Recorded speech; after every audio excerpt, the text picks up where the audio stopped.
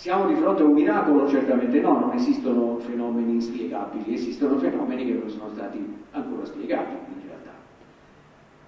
E la spiegazione che si è prospettata, che è venuta avanti, scartate le altre, è una spiegazione che ci porta ancora una volta molto vicino a noi nel tempo. L'uso della litografia cioè il ricorso ad un procedimento di tipo litografico per realizzare il testo. Un incidente di percorso nell'uso della litografia ha prodotto questo imbarazzante risultato del testo speculare che si ritrova sull'altra parete. Se ci si fosse concentrati su questo fenomeno, in purezza di cuore, cioè scartando le spiegazioni inverosimili e accogliendo quelle uniche possibili, si sarebbe giunti recta via alla constatazione che questo è il prodotto moderno di un bravissimo falsario in corso, ahimè, in un incidente, in un incidente per appunto tecnico.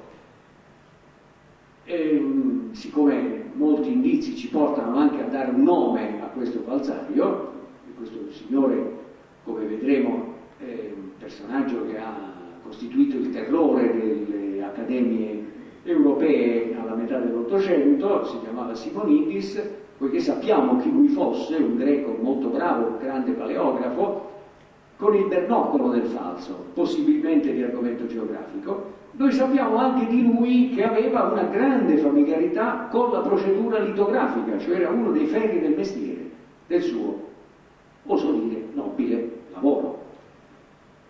Questo lo dicono i suoi contemporanei che lo detestavano, ci sono articoli su di lui pubblicati nella stampa tedesca a metà Ottocento in cui si dice state attenti a quell'uomo che fra l'altro è bravissimo nel ricostruire gli inchiostri antichi sulla base delle ricette note da autori antichi come Plinio e Vitruvio, Vitruvio che a Fano credo non sia un nome sconosciuto, anzi è un nome di prestigio, e state attenti a costui perché ha una pratica straordinaria della litografia. Orbene, quando le idee ci si sono chiarite, avvicinandoci all'oggetto studiato in maniera ravvicinata, abbiamo potuto visitare, eh, grazie a una collega che insegna in Inghilterra e che ha avuto la fortuna, in certo senso, di visitare il museo di Liverpool dove sono conservati gli altri pezzi fabbricati da questo straordinario falsario, ebbene abbiamo potuto constatare che i ferri del mestiere sono ancora lì, cioè non solo ci sono decine e decine di falsi papiri da lui vergati e in parte soltanto pubblicati e commercializzati, ma anche gli strumenti della litografia con tutti gli arredi, la carta velina, le matite speciali, eh, la pietra, insomma tutto quello che è necessario. Perché? Perché egli faceva dapprima il papiro e con un certo trucco piuttosto simpatico lo gabellava per autentico. Voi mi chiedete come faceva? Mi permetto di dare un suggerimento perché ognuno di noi potrebbe desiderare di fabbricare qualcosa del genere.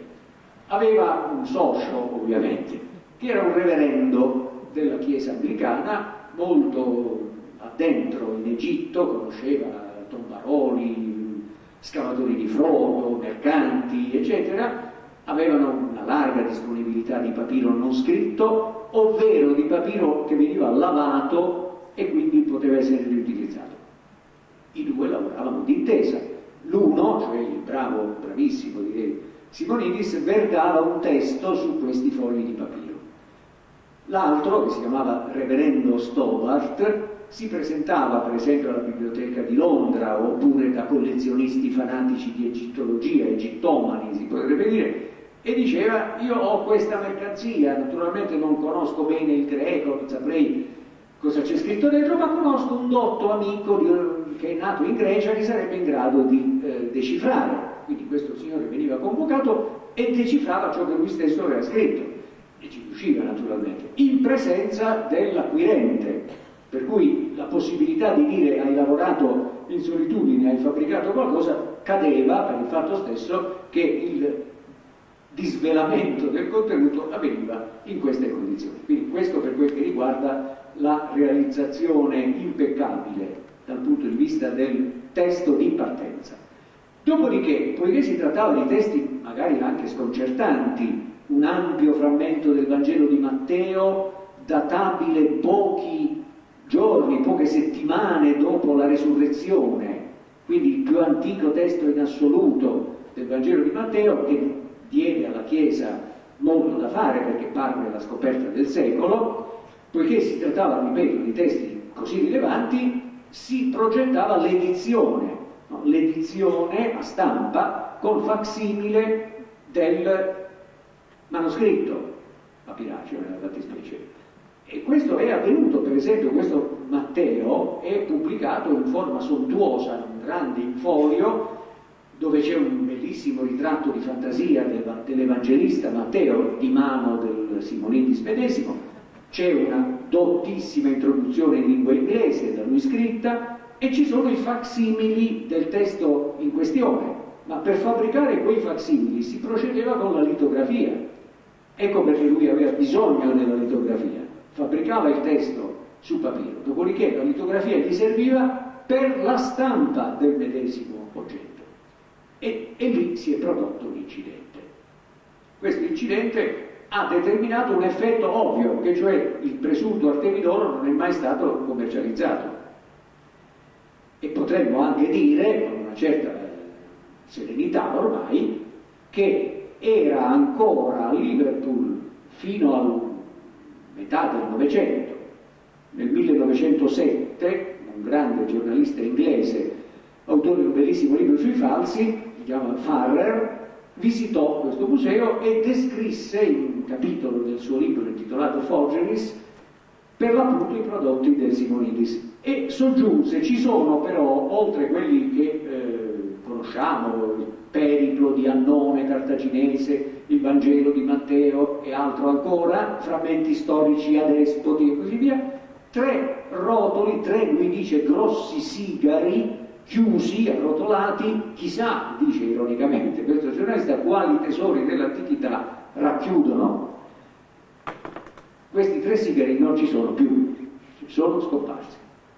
Quando è avvenuto questo? Dopo il 1907 e prima del 2007, allorché la collega anglofona nostra, eh, nostra ambasciatrice presso il Museo di Liverpool ha fatto l'inventario, che abbiamo anche pubblicato, di questi papiri e quei tre pezzi non c'erano più. Insomma, è avvenuto a un certo momento in condizioni oscure il prelievo, la scomparsa, la sottrazione, non saprei quale parola adoperare, di questi.